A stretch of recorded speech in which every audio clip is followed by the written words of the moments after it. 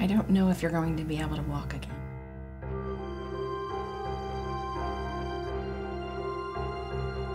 I had tickets to, see a U2 concert in less than two months.